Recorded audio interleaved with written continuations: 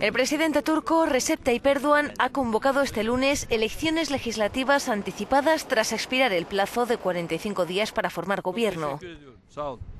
Aunque por el momento la Comisión Electoral no ha fijado fecha, todo apunta a que podrían celebrarse el próximo 1 de noviembre.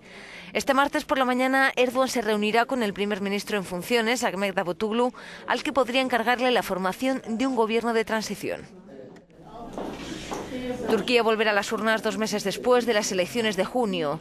El partido de Erdogan perdió por primera vez desde 2002 su mayoría parlamentaria y en este tiempo no ha sido capaz de formar una coalición.